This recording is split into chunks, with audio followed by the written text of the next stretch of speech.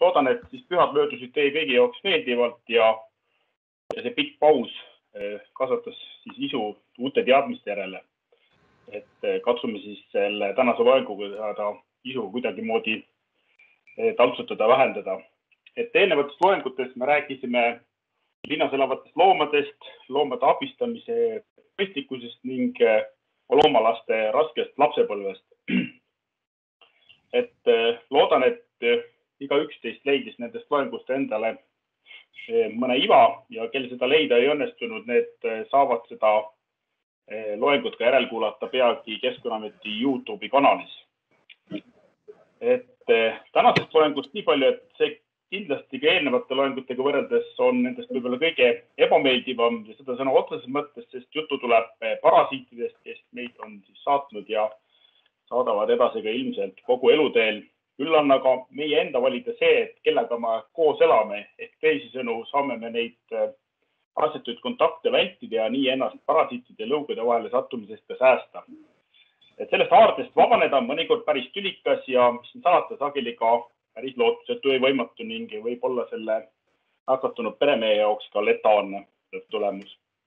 et olen seda teemat äh, täna avama kutsunud Veterinaar- ja Toidulaboratooriumi bakterioloogia ja patoloogia osakonna juhataja Epp Moksi ja mina olen Aimar Rakko Keskkonnaametist ja modereerin tänast veebiloengut.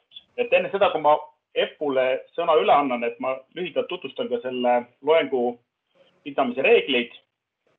kokku kestab loeng nelikümmend viis minutit ja loengu lõpus on kõigil kuulajatel võimalik siis esitada küsimusi loengu pidajale. küsimusi saab esitada kätt tõstes, suuliselt ja teine võimalus on siis kirjutada selle, kirjutada oma küsimuse siis sinna chat ruumi aga arvan, et oleme valmis, et Epp, kas sa oled kuuldel ja valmis meile rääkima?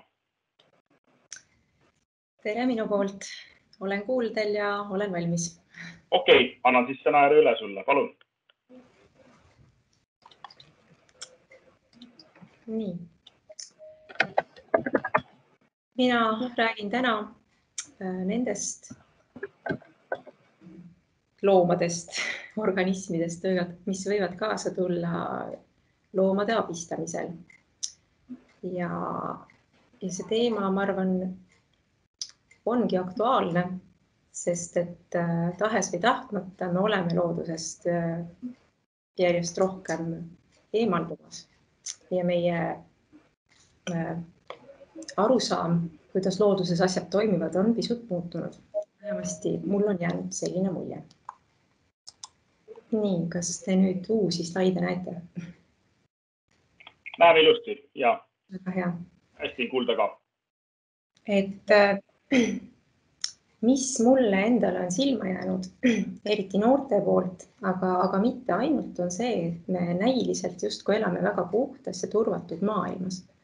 et äh, siin Eestis eriti, Euroopas äh,, Ameerikas, Austraalias, arenenud riikides üldiselt on arstiabi vägagi hästi kättesaadav ning äh, inimesed on valdavalt terved ning seda kiputakse siis äh, projitseerima siis tervele keskkonnale üldisemalt.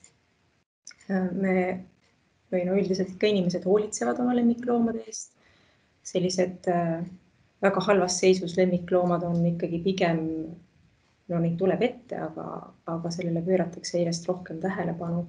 et äh, eelistatakse ja, ja, ja üldiselt ka inimesed kohtlevad oma lemmikloomi nagu oma päris pereliikmeid, neid lubatakse voodisse magama. Neid musitatakse, jagatakse toitu nendega taldriku pealt või siis ka jäätist limsitakse koos. ja see on muutunud pigem normiks. et kus tavainimesed igapäevaselt loomi näevad, need on, tunduvad ka väga turvalised, et üks asi on muidugi loomapargid, kohad, kus äh, saab ähm, katsuda mõnikord mõnda looma, teine asi on juba väga tavaliselt, äh, tavaliseks muutunud linnaloomad. Äh, tundub ka väga turvaline linnakeskkond, puhas ja tore. ja, ja ei osata enam arvestada sellega, et äh, loomad on siiski tõenäoliselt nakkusallikad. ja kui on juttu olnud ka siin selle loengu sissejuhatamisel oli juttu, et, et paljud haigused on saanud alguse metsloomadelt siis see justkui tundub olevat selline kauge probleem, et oh, see on kuskil, kus, hügieeninõuded on kehvad ja, ja kus meelega rikutakse mingeid loomapidamise või looma talitlemise eeskirju, siis tegelikult nii ei ole. et kõik, ähm, kas nüüd kõik haigused, aga, aga väga palju haigusi on meil siin olemas ja on endiselt nii-öelda ootevalmis, ootamaks oma, oma võimalust nakatada uusi peremehi et iseenesest ei ole ju üldse halb, kui me käsitleme inimeste ja loomade tervist koos ühtse tervikuna ja niiviisi käsitletakse seda ka suuremates äh, institutsioonides, WHO, Maailma Tervishoiuorganisatsioon ka on läinud äh, järjest rohkem äh, on hakanud järjest rohkem populariseerima üks tervisemõistet ehk siis meil on ainult üks maailm, üks keskkond ja me haiguseid kõiki jagame seal, need on ühised.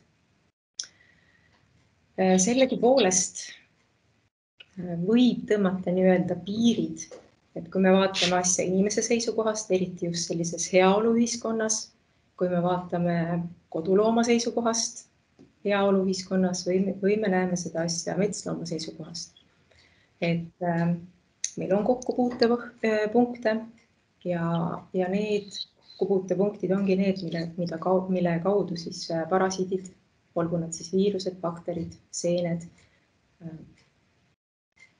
või mingid muud organismid ühelt loomalt teisele kanduvad. et väga sage ei ole see, et inimene saab metsloomalt otsenakkuse, tavaliselt käib see kodulooma lingi kaudu, et nende nende rõngaste kokkupuutepunktid siin joonisel ei ole ka sugulisi, sugugi suvaliselt joonistatud. eelkõige levib haigus, kui on võimalik, et metslooma, kodulooma kokkupuutes ja siis inimesele edasi minnes juba koduloomade vahendusel. ja kui rääkida veel hinnangutest, siis arvatakse, et igast kümnest inimese haigusest kuus on algselt pärit olnud loomadest ja selliste uute haigustega on asi veelgi tõsisem, et umbes seitsekümmend viis protsenti sellistest uutest haigustest arvatakse olevat just pärit loomadelt. seitsekümmend viis protsenti inimestel uutest haigustest.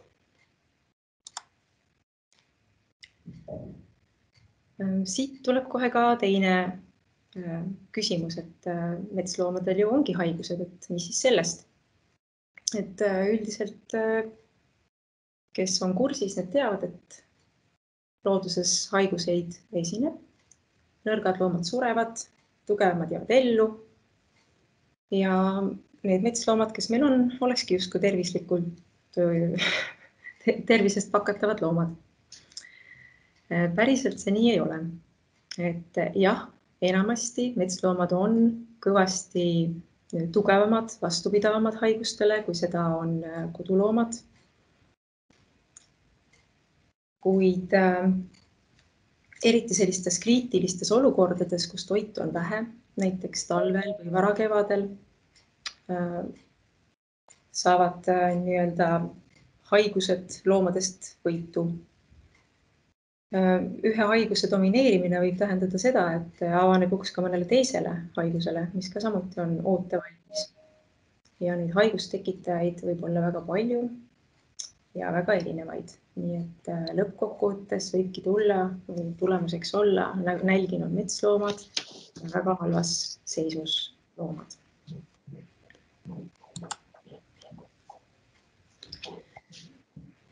nii et äh, ka Eestis ja, ja kõigis, kõigis teistes meie naaberriikides ka peab ikkagi lähtuma sellest, et metsloomadel on haigused ja metsloomi ei ravita valdavalt, et äh, loomad, kui nad metsas elavad, siis äh, nad elavad haigustega koos ja see on igati normaalne. Äh, mina ise olen saanud väga palju teavitusi jahimeestelt et oi, meil kogemata lõikasime näiteks äh, looma nülgides äh, kuskile sisse ja oi, kus seal oli uss, et see on täiesti normaalne, et äh, metsloomad tavaliselt ei kannata selle all, võivad olla väga heas konditsioonis loomad. tulles tagasi siin juba varem näidatud kokkupuutealade kohta juurde, siis metsloomade haigusi peetakse siiski potentsiaalselt ohtlikeks, kuna metsloomade populatsioonid ei ole äh, nii-öelda ainult äh, loomakesksed äh,. väga vähe on mittereguleerimata loomapopulatsioone üldiselt on inimestel ja metsloomadel siiski kokkupuutepunktid ja mõnikord võivad need olla väga sagedased, eriti näiteks linnaloomade puhul. ja tulles tagasi veel metslooma juurde, siis äh, metsloomad põevad ise ja ka levitavad väga paljusid haiguseid, mis esinevad nii kodu kui metsloomadel. ja paljud neist on võimelised nakatama inimest. et äh, haigust, mis levib metsloomadelt või, või koduloomadelt inimesele, nimetatakse zoonoosiks.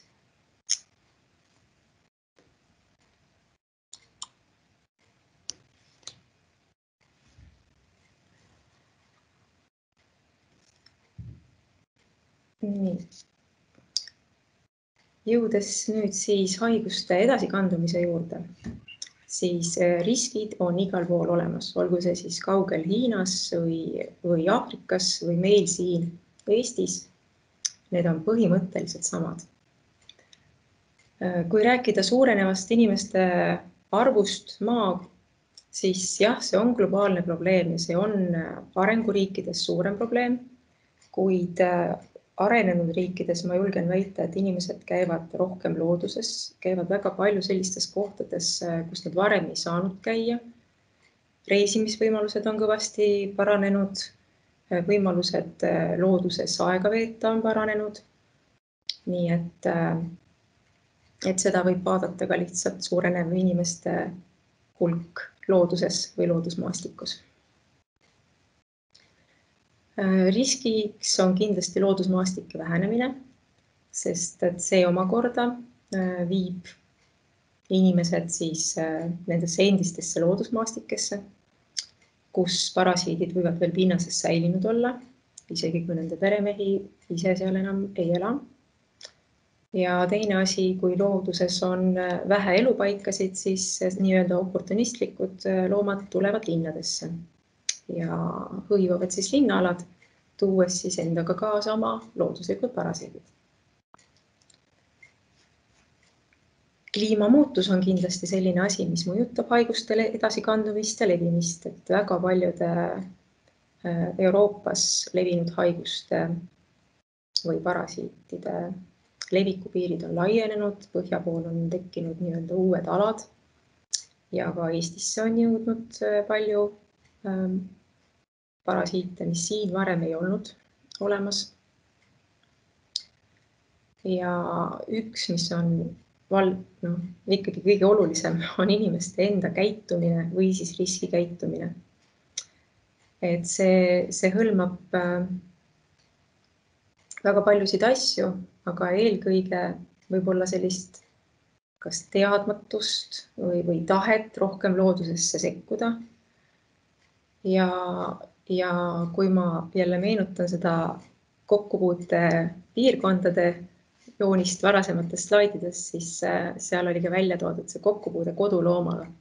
et see on tõesti üks riskikäitumistest, et äh, lubada loomadel oma nägu lakkuda, oma lapsi lakkuda, käsi lakkuda, ise mitte käsi pesta. lubada koduloomi või lemmikloomi siis vooditesse magama et see on, see on potentsiaalselt väga ohtlik. eriti just haiguste edasikandumise seisukohast.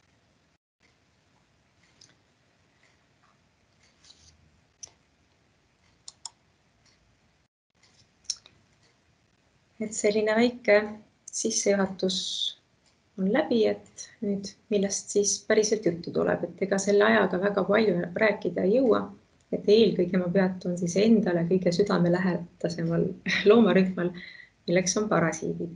et ka siit leiab väga häid äh, näiteid, kuigi parasiidid ise ei ole ju niivõrd ohtlikud kui näiteks viirushaigused või, või bakterhaigused. küll aga võivad olla parasiidid äh, selliste viirushaiguste või bakterhaiguste levitajateks looduses.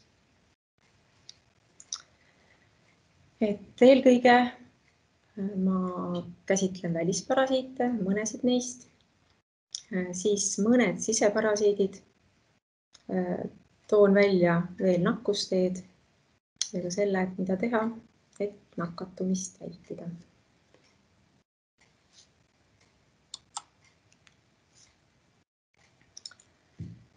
kui nüüd kohata loomas äh,, looduses äh, äh, vigastatud looma, haiget looma või ka kokku puutudes oma lemmikloomaga, kellel juhtub olema mõni välisparasiit, siis äh,,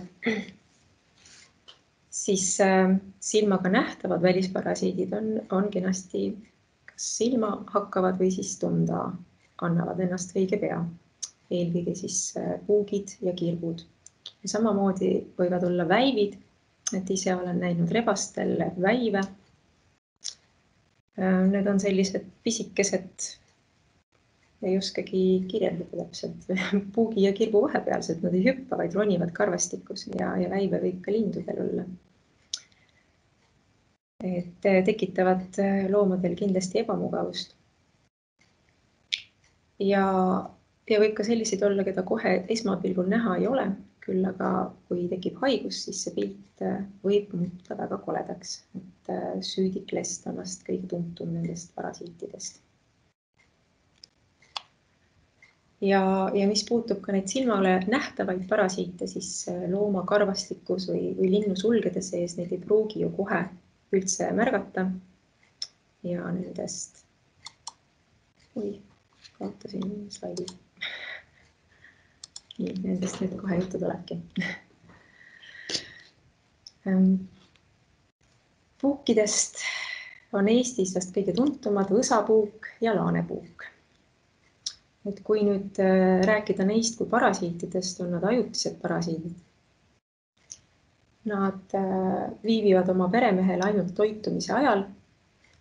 ja üldiselt ei ole nad oma peremehele kuigi koormavad küll on ohtlik see, et nad võivad edasi kanda teisi haigustekitajaid, sealhulgas äh, borrelioosi, babesioosi, erlihioosi, entsefaliidi tekitajaid.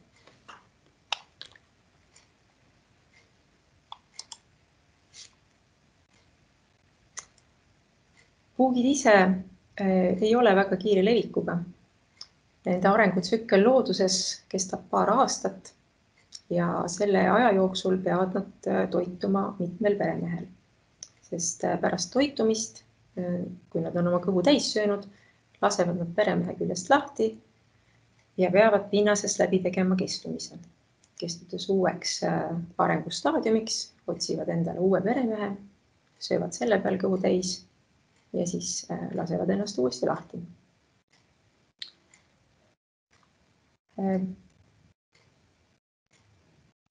uuesti nüüd tulles tagasi selle juurde, et puugid on ohtlike haigustekitajate siirutajad, siis äh, oluline on teada, et haigused jõuavad peremehesse puugisüljega. ja üks puuk, kui ta nakatub ka kõige pisemas arengujärgus, imedes oma peremehe verd jäävad nakkusallikaks kogu oma elu jooksul ehk siis kõik need äh, arenguetapid, mis nad kaasa teevad, ei kaota seda nakkust puugi seest ära. ja mis on veel ohtlik, mida võib-olla vähe teatakse, on see, et puugid, kes toituvad kõrvuti, et näiteks kaks puuki satuvad näiteks kõrva taha olevale alale, kus on hea pehme nahk siis niiviisi kõrvuti toituvad puugid võivad haigust üksteisele ka jagada. et ise see haigus ju puugile endale midagi ei tee, küll on aga haigusel maru hea niiviisi levida, et üks nendest puukidest võib nakatada hoopis mingisuguse, ma ei tea, järgmise närilise.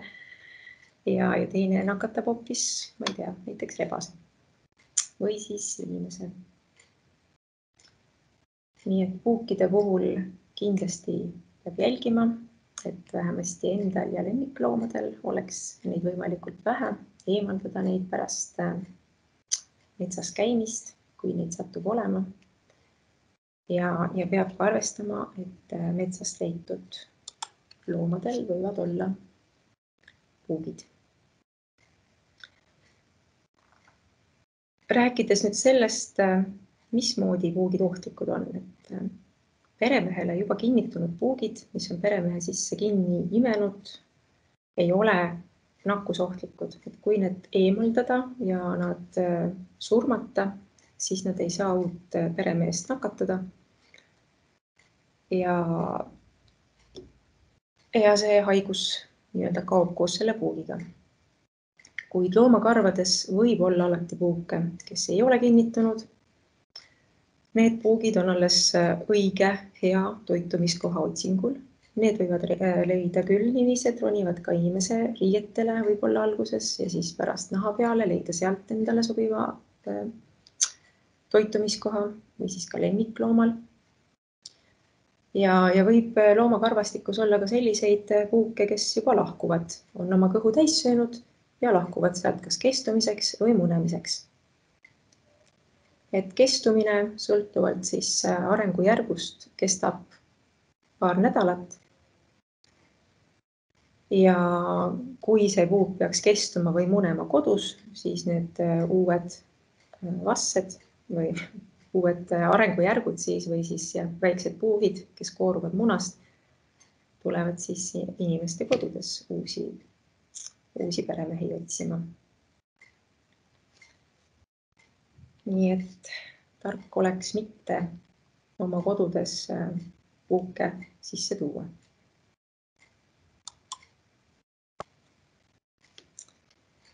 teiseks, üldiselt väga hästi silma hakkavaks äh, parasiidiks on kirbud. samuti imetajatel ja lindudel ja samuti mm, ainult, äh, samuti on need parasiitsed ainult toitumise ajal. üldiselt peetakse kirpe peremehe spetsiifiliseks, aga siis, kui seda sobivat peremeest ei ole kuskilt kätte saada, võivad nad toituda ka nii-öelda võõrastel peremeestel et äh, väga sage Eestiski on kassikirp, kes nakatab tervet hulka soojaverelisi loomi ja loomulikult ka inimest. ja samamoodi nagu puukegi ei pruugi neid alguses nähagi peremehe karvastikus või nakatunud looma karvastikus või sulgedes. aga kui üldiselt teatakse, et noh, kirbud on ohtlikud katku levitajad, siis äh, tegelikult on veel, veel hulk bakterhaigusi, mida puu äh,, mida kirbud võivad edasi kanda ja, ja kirbud on, on vaheperemeheks ka ühele koera paelussile. et kui koerad või kassid kirbu äh, alla neelavad, katki närivad, siis äh, parasiidid vabanevad sealt kirbu seest ja arenevad siis ussiks loomasoolestikus. et parem oleks neid siis mitte kodudes omada ja õnneks saab nendest ka kergesti lahti. siis veel üks välisparasiit, kes on kindlasti aktuaalne siin praegu Eestis samamoodi, on süüdik lest, kes põhjustab kärntõbe. lestad ise on mikroskoopilised ja elavad naha ülemistes kihtides kui haigus on juba tekkinud, siis on äh, see haiguspilt väga iseloomulik, et karvad langevad välja, tekivad äh, kärnad, loomadel on ebamugav, valus, nad võivad kratsida neid kärnasid sealt ära. ja, ja see võib noh, lõpuks väga kole välja näha. väga sage on see, et karv langeb välja ja, ja talvel need loomad võivad, kes on nakatunud metsloomad, siis äh, võivad alajahtumisse ära surra, sest äh, neil lihtsalt ei ole karva peal. süüdik lest on äh, iseenesest huvitav parasiit, et on arvatud, et on äh, liigispetsiifiline, kuid need viimased uuringud on näidanud, et tegemist on siiski nii-öelda ühe parasiidirühmaga, mis jaguneb umbes kolmeks, et kaks neist on valdavalt inimestel ja kolmas võib siis nakatada peaaegu kõiki loomarühmasid ja ka inimesi.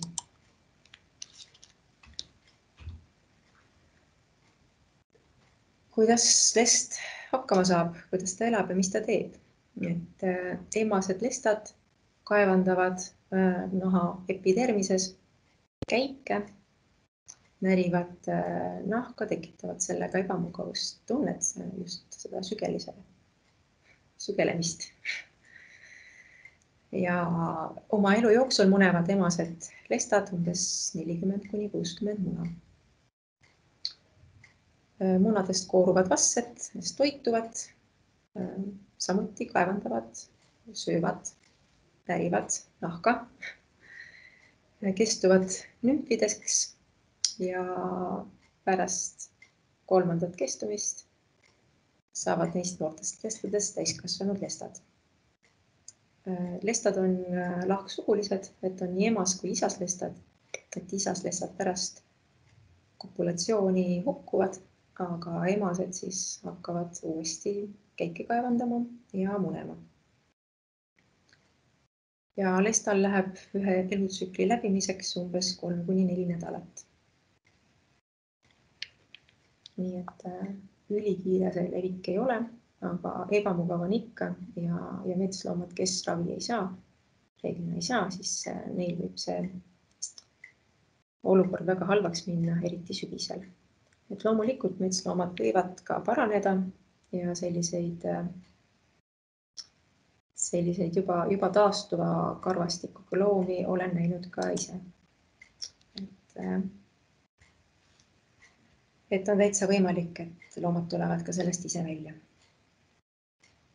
Nagu juba mainisin, siis pigem tänapäeval arvatakse, et nakkus võib üle kanduda teistele liikidele et ei ole nii, et rebast nakatavad ainult äh, rebaselestad ja, ja inimest, inimeselestad, kuigi inimestel on spetsiifilisi lestasid, mida teistel ei ole leitud. ja nakatumine ei toimu siis ainult otseses kokkupuutes, et äh, kui katsuda nakatunud loomi, looma või, või noh, see nakkus ei pruugi ju kohe näha olla et äh, lestad suudavad äh, soojadel suvedel püsida ka pinnases päris mitu päeva elus ähm,. pesamaterjalis väga hästi püsivad elus, sest pesades on enamasti soe, nii et äh, need väikesed pesa, pesast väljuvad äh, loomapojad, kutsikad võivad olla juba tegelikult lesta kandjad. ja kui nüüd loom on nakatunud, siis esmalt võib näha olla see nakkus peapiirkonnas, kehakülgedel või sabajuurel ehk siis need kohad, kus loomad enamasti kokku puutuvad, et peapiirkonnas, kas siis kakkelles omavahel või mängides pesakonnas või lakkudes üksteist, magades tihedalt üksteise vastased kehakülgedel. Et siis äh, sellist, sel teel see lest hästi levib.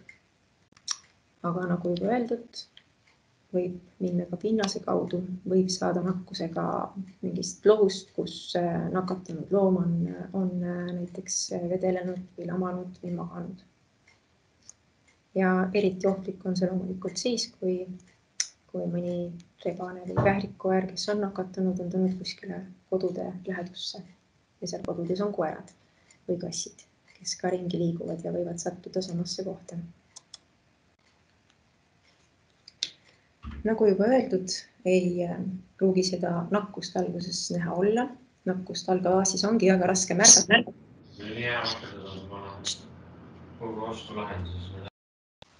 kui, kui nakkus äh, levib, see tekitab eba, ebamugavust äh,, loomad kratsivad ennast, sellest kratsimisest võib tekkida sekundaarsed äh, infektsioonid, bakterid näiteks hakkavad seal elama, tekivad mädakolded. karvad langevad välja, no kui hakkab paranema see kärn või haavan, siis koorikud. ja sügiseti või talvel loomad võivad hukkuda. ning äh, olemas on ka Eestis äh, ja noh, ma arvan, et, et selliseid loomi siin viimasel ajal on ikkagi näha olnud kärndeväes loomi, osalise karvkattega rebaseid või kährikukoeri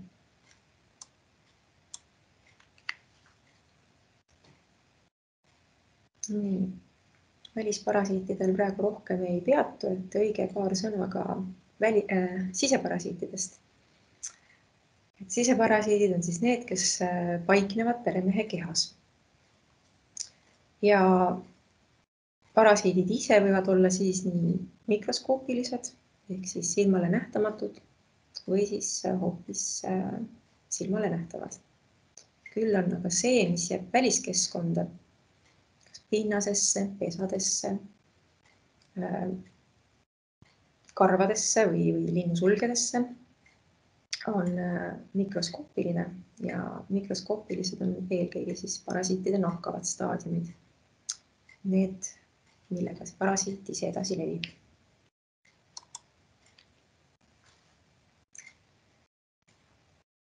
parasiitidest äh, rääkides, eriti Eesti oludes, ei saa kindlasti üle äh, toksoplasmast et eosloom toksoplasma kondi on toksoplasmoosi põhjustaja. ja see ei ole Eesti loodusest äh, mitte kuhugi kadunud, kuigi meil inimeste nakkusi ma ei ole, ei ole kursis, et, et neid oleks, ma ei tea, kas. Jah, hetkel ma ei oska kommenteerida, aga, aga ei ole kuulda olnud, et, et oleks olnud või neid oleks palju kuidagi. kindlasti ei ole palju et äh, parasiidi lõpp-peremeheks on looduses kastlased. et meil on äh, nii ilvesed kui kodukassid äh, võivad seda parasiiti edasi kanda. Ja metsloomadel on ta meil väga tavaline, seda on näha meil läbi viidud uuringutest. ja loomulikult on nakkus ohtlik tiinetele loomadele või siis rasedatele naistele. et äh, siia proovisin saada skemaatiliselt äh, parasiidi elutsüklist, sellist äh, head, hästi jälgitavat elutsüklist nii-öelda vabavarana kättesaadaval ei ole. küll aga mõned üksikud on, et katsuks seda siis pisut selgitada, et siin on joonistatud kena kass, et võib olla kastlane, ükskõik missugune. Nende soolestikus parasiidid elavad ja, ja roojaga väljuvad siis väliskeskkonda ootsüstid. ootsüste võivad kassid ise endale kasuka pealt sisse lakkuda. nagu juba jah, võib arvata, et siis äh, sellised parasiidid, kes roojaga väljuvad, et nende paiknemine peremehe kehapinnal on kõige suurem päraku piirkonnas ja koogu piirkonnas. sellepärast, et koerad ja kassid või üldse loomad ju ennast äh, keelega puhastavad ja kui need äh, satuvad, ootsüstid satuvad kassi sisse, siis toimub uuesti kassi suules äh, parasiitide sigimine, areng ja väljutamine. küll on aga see parasiit väga edukas, need ootsüstid võivad sattuda ka mõne teise looma sisse, ükskõik millise soojaverelise looma sisse. ja nende lihastes võivad tekkida lihased süstid. et parasiit jääb nendest teistes soojaverelistes loomades nii-öelda ooteasendisse, lootuses, et äkki nüüd mõni kunagi mõni kastlane selle peremehe ära saab, ära saab süüa. et kui looduses tavaliselt on äh, pere vahe, nii-öelda vahe säilitus, säilitusperemeheks, siis jah, need närilised ja linnud, siis neil on tõesti suur lootus äh, jõuda kunagi mõne kastlase luhtu. aga, aga jõudes mõnda mõnda muu, muu looma sisse, muu looma sisse, siis, siis see nii ei ole ja teise, teiste loomade, põllumajandusloomade liha näiteks võib olla nakkusallikaks inimesele ja, ja loomulikult võib inimene saada nakkusega otse kodukassilt. ei pea selleks liha sööma. ja inimene või, või ka, ma ei tea koduloom, põllumajandusloom on selles mõttes parasiidile äh, surnud, surnud lõpp, sest et inimest reeglina siiski kastlased ei söö. aga probleeme tekitab see parasiit inimestele äh, ikkagi. seda, kui levinud äh, Eestis toksoplasma tekitaja on seda ehk toksplasmakondi on jah, seda näitab ehk kõige paremini üks metsloomade või metssigade verest tehtud uh, uuring, kus vaadati vereproovidest, kas äh, parasiit on olemas või ei ole. ja tegelikult, kui nüüd maakondade kaupa vaadata, siis see protsent on ikkagi märkimisväärne, et siin mõned, mõnedes maakondades, et Ida-Virus ei, ei saadud proove ja, ja Viljandimaal on väga väike, aga, aga üle Eesti on see nakatumine siiski olemas, ehk siis parasiit on meil kindlasti olemas. mets, metssiga peetakse väga heaks indikaatorliigiks just seetõttu, et ta on omnivoor ehk siis ta sööb ka siga ja teiseks, et ta songib väga palju selles pinnases, metsapinnases, et ta võib otse kokku puutuda kastlastest väljunud ootsüstidega. süstid on looduses väga vastupidavad. Need võivad jääda loodusesse pikaks ajaks. ja noh, ohtlik on loomulikult nakatuda siis äh, tiinuse või, või raseduse ajal, sest et äh, parasiit läbib platsenta ja tekitab äh, aborte või siis väärarenguid loodetele.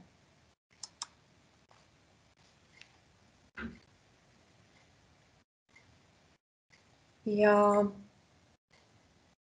jah, kõige rohkem, mis mulle meeldib rääkida oma, oma Äh, südamelähedasest teemast on paelussid. et see on hoopis teine mm, parasiidirühm, et kui toksoplasmad on algloomad, siis paelussid on, on juba päris ussid. ja, ja tegelikult ei ole ainult paelussid niiviisi, äh, niiviisi inimesele levivad, et on metsloomadel ka teisi parasiite, et on solkmed.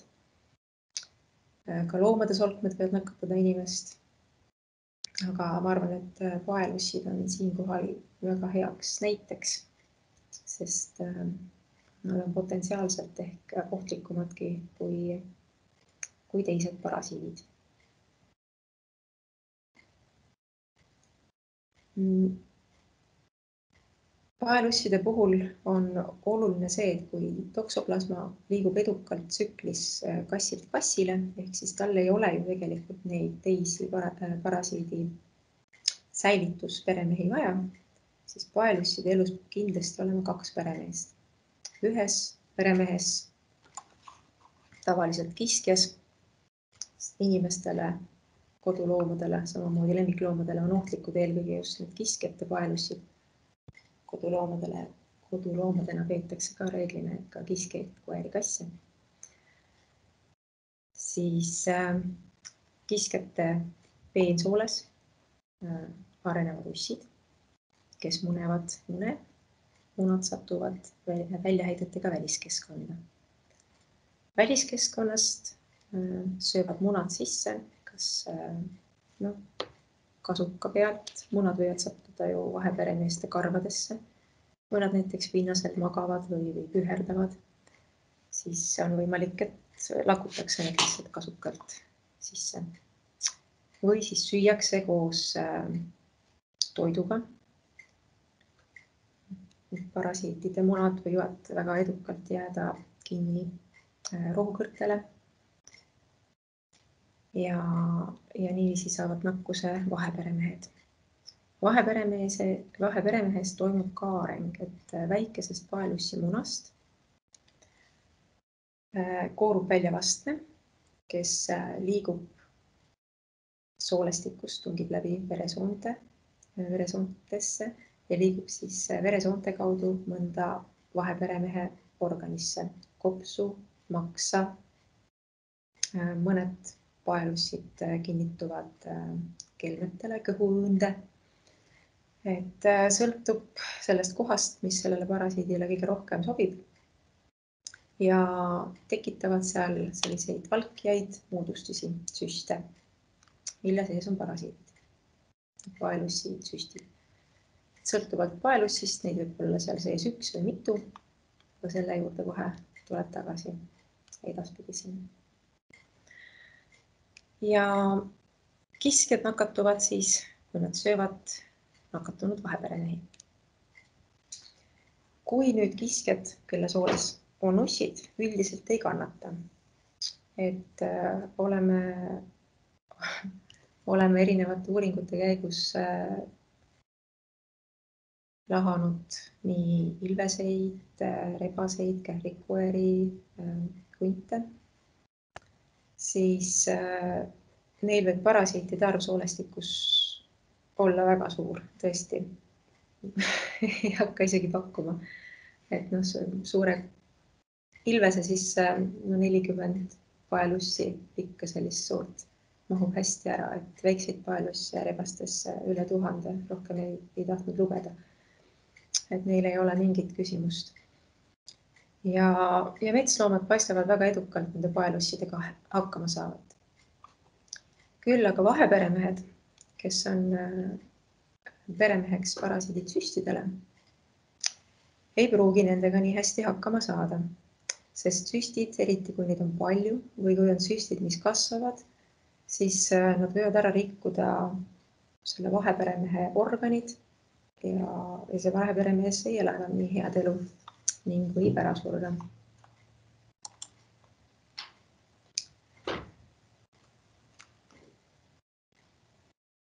Läheb probleemi sisse.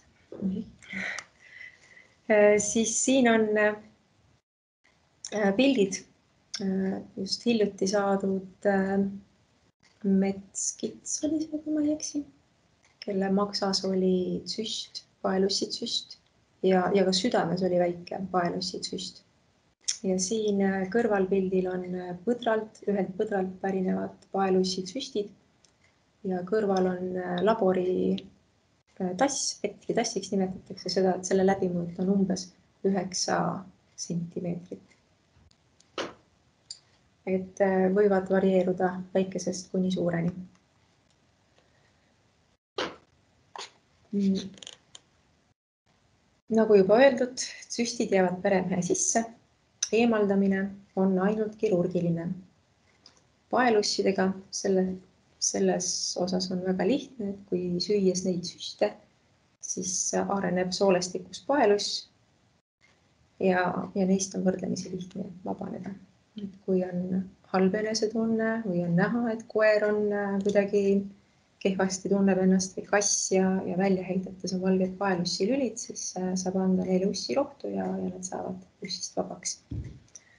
aga, aga süstidega vaheperemeestel on keerulisem ja ohtlik on see seetõttu, et inimene võib ka olla nende süstide vaheperemeheks Eestis on olemas kaks äh, väga ohtlikku, potentsiaalselt väga ohtlikku paelussi. Need on ehinokookk paelussid.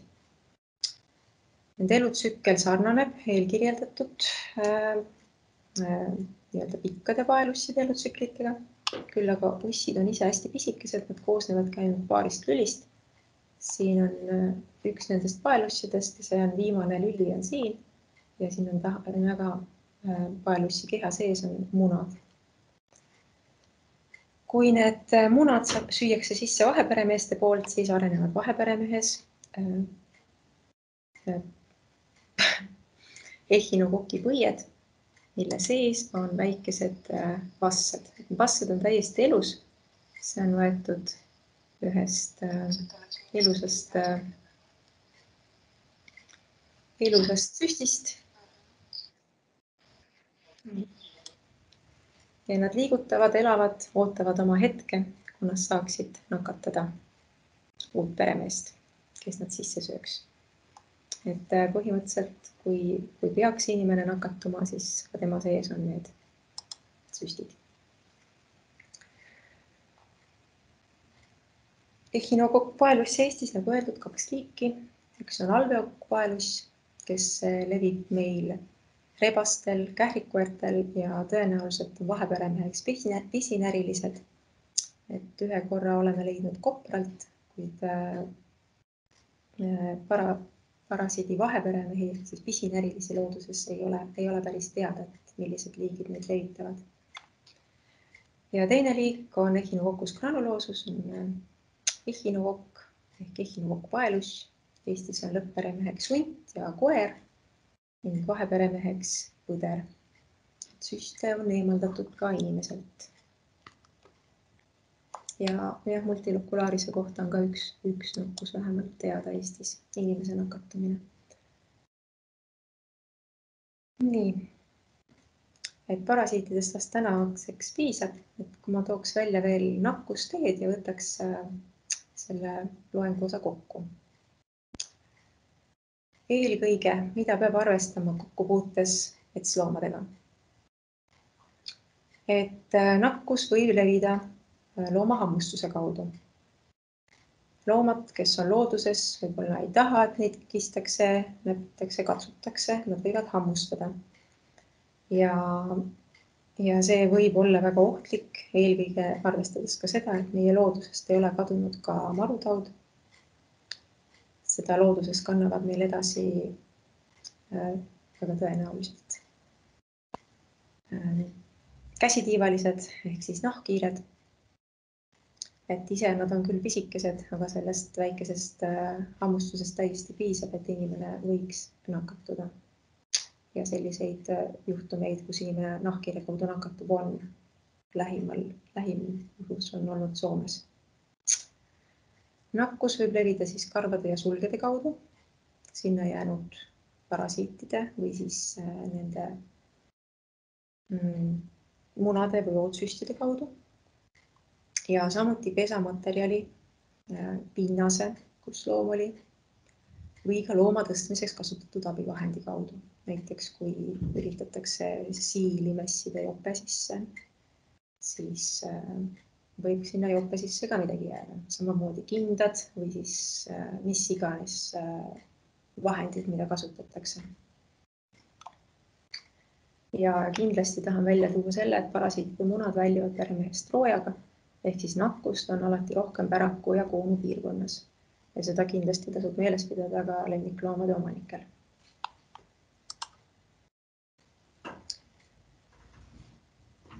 nakkusteed lisaks otsesele kokkupuutele loomaga? On täiesti olemas ka vabas looduses. et äh, peab arvestama riskidega, juues avatud veekogudest, matkal olles näiteks on väga mugav kuskil juua. Eriti madalad veekogud, kus äh, käega vett võttes aetakse kõik see, mis on põhja settinud ülesse. metsasaaduste kaudu võib nakatuda sest metsasaadused võivad olla äh, saastunud äh, parasiidimunade või joodsüstidega. Äh, kuna meil on tegemist linnaloomadega väga paljudes Eesti linnades, siis ka linnaloomade ja aiasaaduste kaudu. et kõik aiad, kuhu, kuhu rebased, kährikkoerad sisse saavad, on ka potentsiaalsed nakkusallikad ja loomulikult ka pinnas selles aias. ja mis on kõige olulisem, pesemata käte kaudu et kui katsuda midagi, ka looduses katsuda midagi, siis kindlasti tuleks pärast vesi pesta. et see on üks suuremaid riske, jätta, jätta käed pesemata. kuidas käituda, leides nii-öelda näiliselt või, või, või ka päriselt kohe vigastatud looma, keegi, kellel on, on silmaga nähtav vigastus et äh, mida mina saaks soovitada, et ära puuduta abituna näivat looma, anna info edasi Keskkonnaametile ja veel parem, kui anda edasi siis äh, info selle paiga kohta, koha kohta, koordinaadid. et abi vajav loom võib vajada transporti, tema tõstmiseks on võib-olla vaja midagi spetsiifilist, kindlasti on vaja kaitsevahendeid, aga, aga näiteks vigastatud looma tõstes võib juba liigutades teha talle rohkem viga kui kui jättes ta lihtsalt nii, nagu ta on. käsi pesta, hoida puhtust on väga oluline soovitus ja puuginakkuste vältimiseks tuleks kontrollida ennast, pereliikmeid ja lemmikloomi. aitäh teile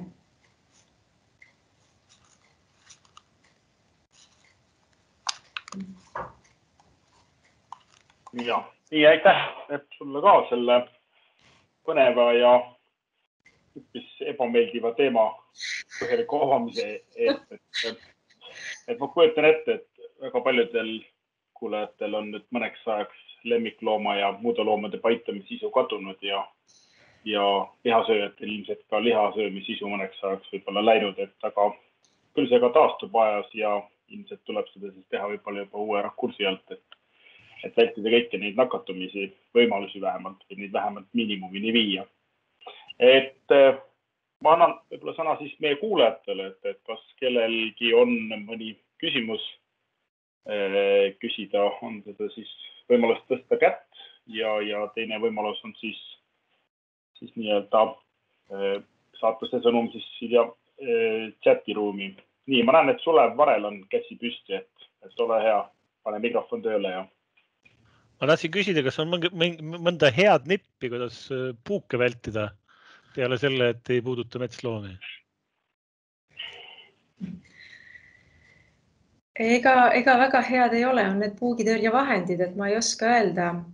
Äh, seda ilmselt peab küsima, küsima neilt, kes neid regulaarselt kasutavad, aga ma olen vähemasti koeraomanikega suheldes aru saanud, et on mõni, mida keegi eelistab, et see on parem, aga kui, kui palju parem või võrreldes millega parem, et ma, seda ma ei oska kahjuks kommenteerida ikkagi on, on põhiline see, et, et katta iseennast võimalikult hästi.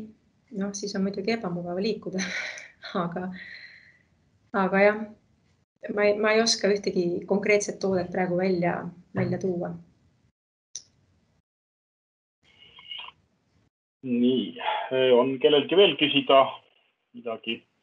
et ma võib-olla niikaua, kui keegi või kuulajad endale küsimusi välja mõtlevad, ma tuleks nende ehinu kokkide juurde tagasi, et täpsustaks selle veel üle, et, et millist teed pidi see inimesele see nakkumine toimub, et, et kui me, kui sa sööd no, rohusööjad, kes on selle, sellega nii-öelda selle süstiga nakatunud, kas siis on oht saada seda haigust või on ainult saada oht seda siis, kui see kuskilt koerlaste väljaheidetest tulnud munad, mis on siis noh, ma ei tea, kas jõhvika põõsale või must, mustika põõsa peale nii-öelda sattunud ja sealt nüüd otse suhu pistetakse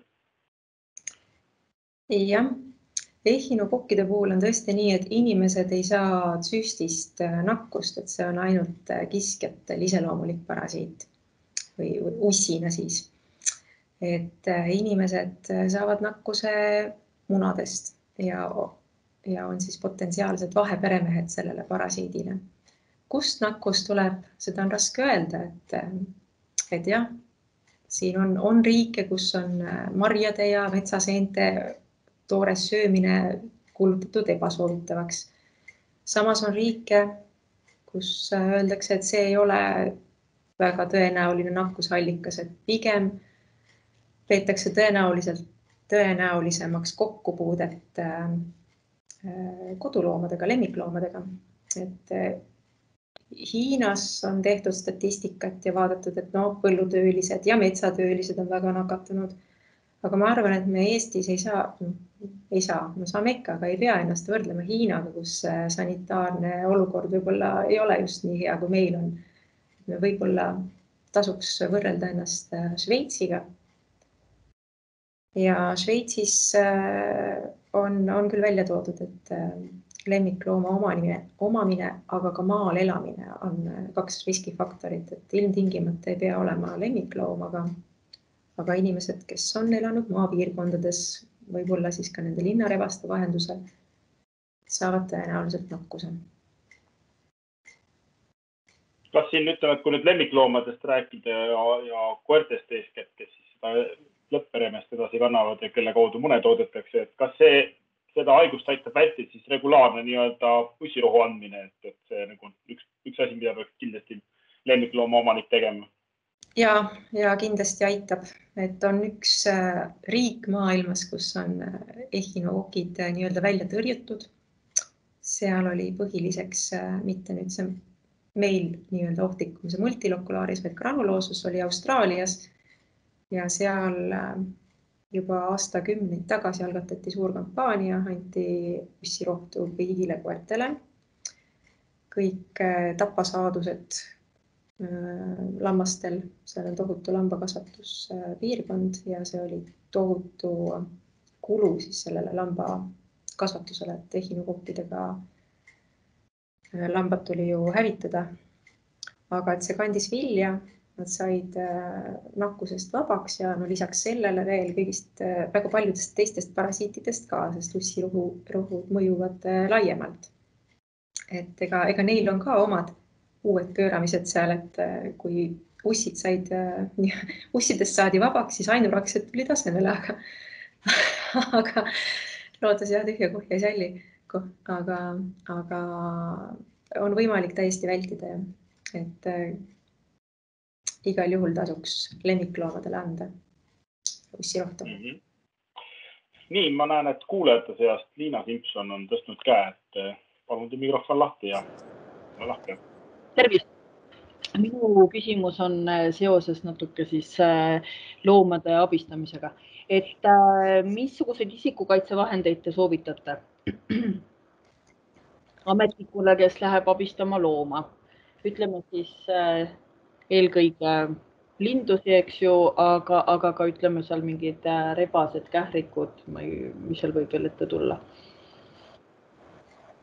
niisugused esmased mm. -hmm et kindlasti peaks olema kindad, midagi sellist tugevamat, kust võib-olla loomad ka otse läbi ei hammusta.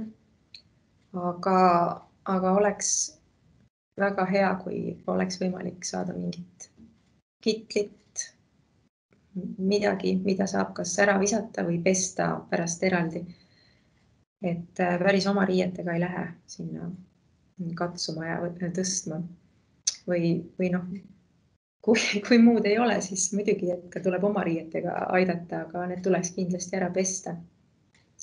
et parasiitide munad õnneks äh, ta ei talu väga hästi kuuma, et selline kuuekümne kraadine pesu, võib-olla isegi neljakümne kraadine pesutsükkel. et ega see kraadid ei, ei ole ju seal ainult lühikest aega, nad on pikemad, et siis kuuskümmend kraadi on paar minutit ainult, kui see parasiiti muna on veel eluvõimeline. et see aitab hästi. ma päris algusest ei liitunud, mul jäi üks kümme minutit äh, puudu, et kas te jõudsite rääkida ka lindudest, et lõpus olid siin just äh, kastlased, kähriklased, eks ju, et, äh, et kas lindudel on ka mingeid parasiite, mille suhtes peaks olema ettevaatlik?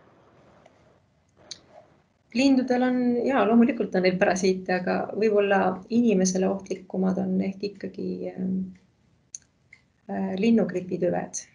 et äh, ma päris parasiite ei oska, ei oska niiviisi öelda, et noh, neil on puugid samamoodi, mis võivad inimesele tulla, edasi levida. Aga, aga linnud on teist äh,, pisut äh, teistsuguse parasiidi valikuga kui imetajad, et äh, jah. no lindude puhul võib-olla võib ohtlikuks osutuda lind ise, sõltuvalt küll liigist, et kakulised, kes võivad, võivad teha jäskepöördeid ja, ja toonekurg, kes võib oma nokaga teha vigastusi. Et võib-olla seal parasiidid nii väga määravad pole, nad küll võivad inimesele vist tulla, ma saan aru, mõned, et need kibud ja täid, kes seal on, aga nad tõenäoliselt inimese peal väga pikalt ei need on nii-öelda välisparasiidid, siseparasiite sealt tõenäoliselt nii väga kohe tulemas ei ole. jah, parasiitide puhul pigem mitte, aga, aga viiruseid võib, et need on, need on pigem ohtlikumad.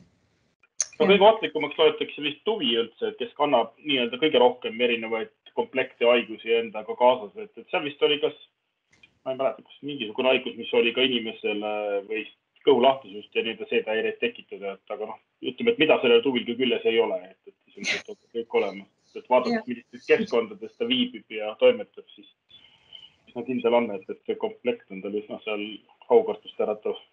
nii et noh, ütleme tuvi, tuvide puhul on oht ka väga suur.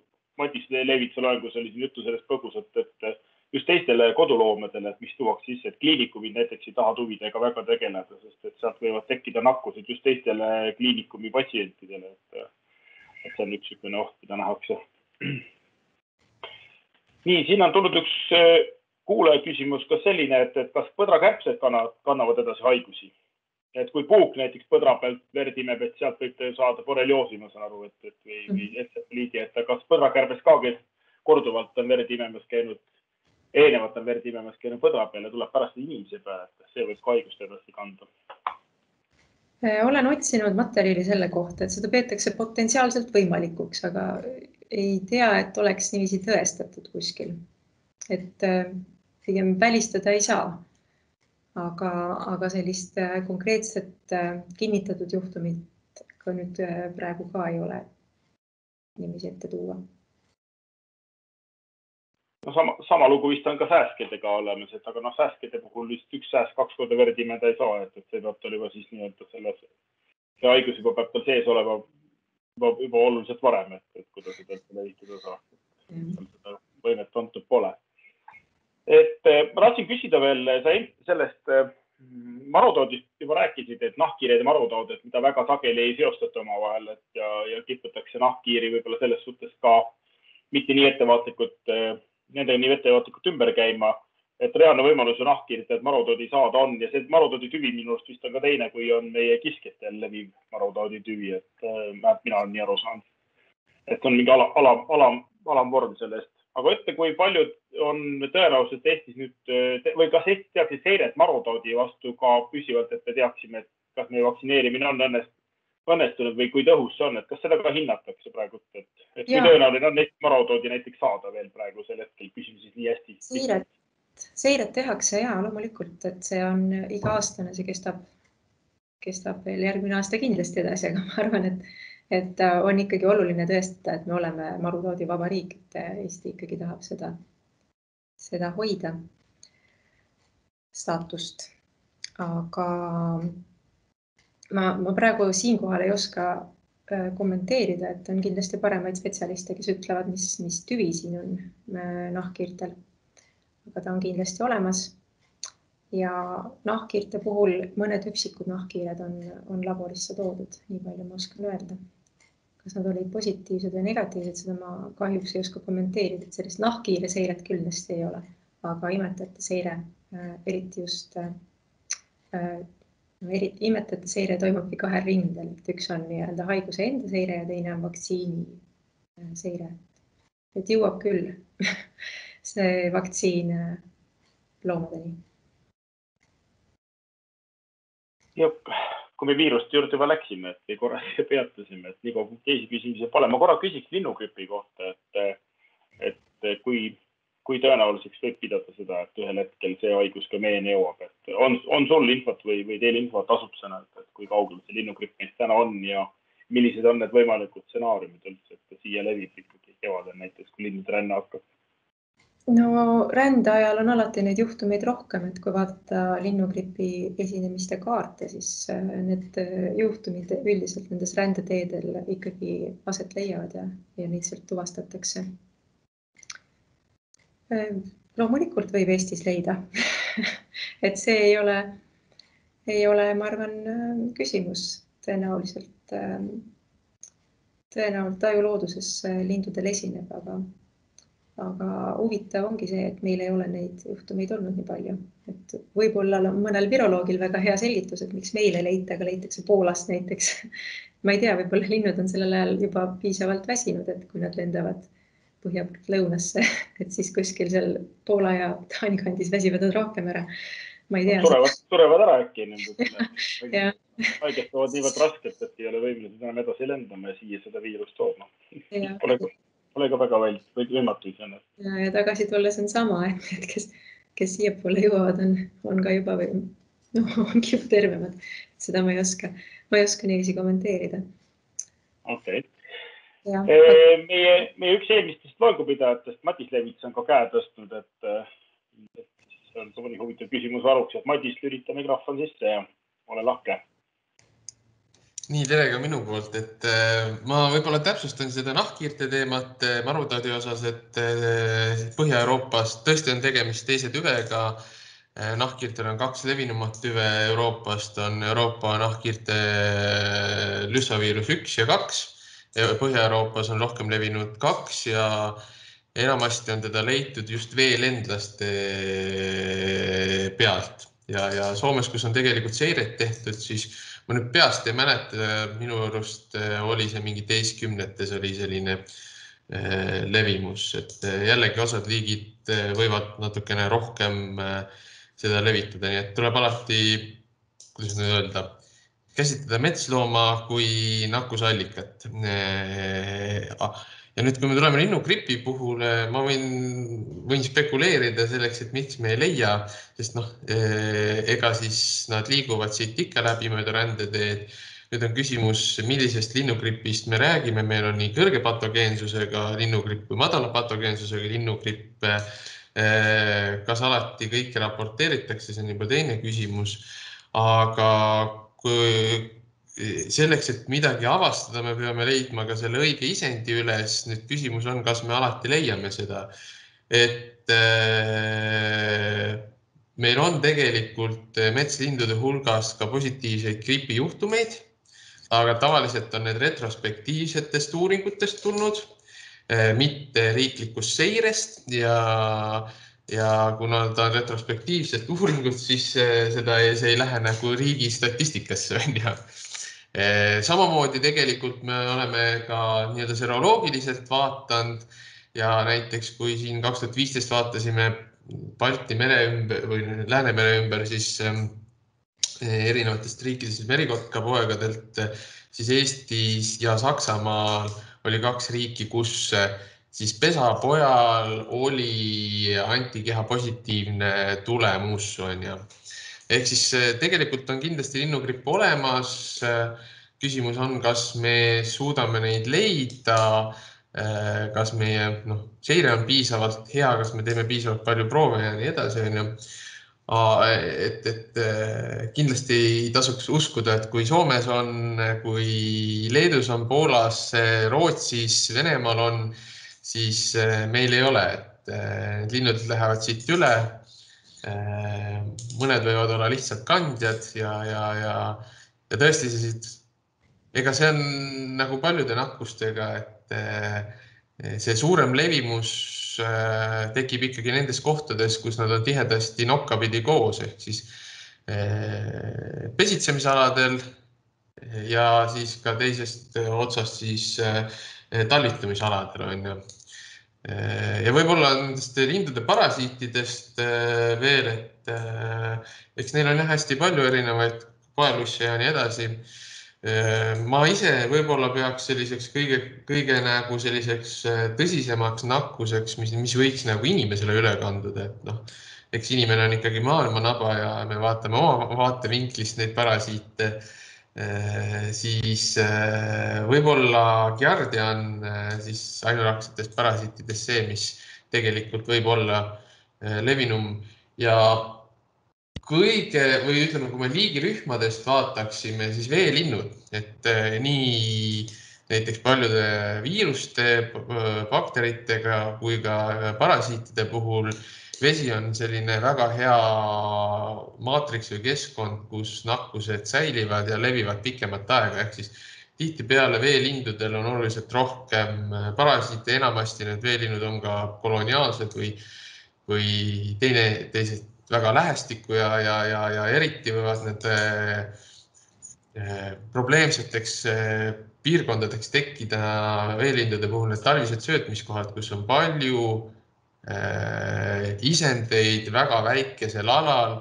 see tähendab, sotsiaalsed kontaktid on väga intensiivsed, nakkused levivad väga palju, hügieen on alla igasugust arvestamist ehk siis seal võib ka näha selliseid tõsisemaid probleeme, nii et äh, jällegi neid tasuks nagu ennetada ja mitte tekitada selliseid äh, tihedalt äh, söötmiskohti, kui üldse neid teha.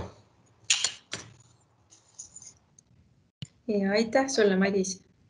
et on, on tõesti, on tõesti nii ja meil Eestis jah, seire on.